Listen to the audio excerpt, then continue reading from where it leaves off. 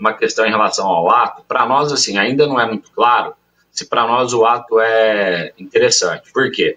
Tem patrimônio do Lacerda que é, garante essas dívidas trabalhistas, é um patrimônio de aproximadamente 2 milhões de reais. Nós temos cotas da federação que, somadas nos últimos anos, também chegam perto de um milhão de reais. Então, nós temos lá aproximadamente, se nós contarmos o patrimônio do Nelson Lacerda em 2 milhões de reais, que era a avaliação inicial, nós temos lá aproximadamente 3 milhões de reais e temos mais esse valor do João Pedro, que foi destinado para lá, que também ultrapassa um milhão de reais. Então, nós temos lá, assim, a gente, a gente contratou uma auditoria esse mês para fazer o levantamento destes valores. Nós tínhamos contratado, independentemente da parceria, nós tínhamos contratado, porque nós estamos no momento, depois, de, depois que houve essa, esse bloqueio do valor do João Pedro, é, nós estamos em um momento de definir se é melhor o ato trabalhista, se não, ou, ou se nós vamos seguir no nosso modelo atual, porque o ato trabalhista ele exige o pagamento em 96 parcelas. Se nós não tivéssemos o valor do João Pedro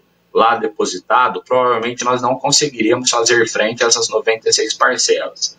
Com o valor do João Pedro depositado, é provável que a gente consiga fazer frente a esses valores. E aí talvez a gente leve isso para o ato trabalhista, que é um, uma negociação direta no Tribunal Regional do Trabalho, lá em Campinas. A discussão ela sai aqui de Ribeirão Preto.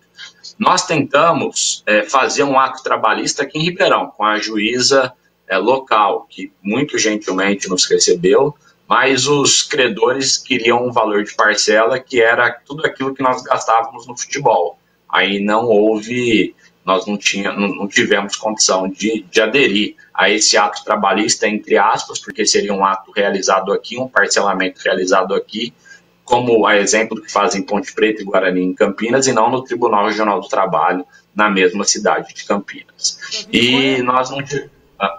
Pois não, fique à vontade, perdão, por favor. Então nós não, nós não tivemos nós não tivemos êxito nessa negociação que nós fizemos é, no, eu não lembro se foi no final do ano passado ou se no início desse ano. Confesso que não, não lembro. Foi capitaneada pelo Fábio Ers, pelo Felipe Zampieri. Não deu certo. Então, assim, nós estamos é, fazendo. Deve terminar no, mais uns 40 dias. A gente contratou um, um contra, com a ajuda do Felipe, do Fábio, a gente contratou uma, um pessoal especializado para levantar quais são todas as garantias, né, depurar e não ficar aqui é, nesses valores superficiais, para nós termos discriminadamente quais são todas as garantias, para a gente eventualmente escolher se nós vamos para o ato trabalhista ou não. E os, respondendo a sua questão, a empresa, os, os, os, eventuais aportes, não se destinam exclusivamente ao futebol profissional. Eles se destinam ao clube e, eventualmente, numa escolha conjunta, a gente pode fazer a opção sim por pagar passivos. Se os aportes vierem, porque isso também não é uma certeza, viu, Roginha? Não tá. é? Porque de repente eu vou falar aqui que vai ter aporte, amanhã os, os, os, os meus credores acham que vai ter aporte lá todo dia no clube. Não é isso.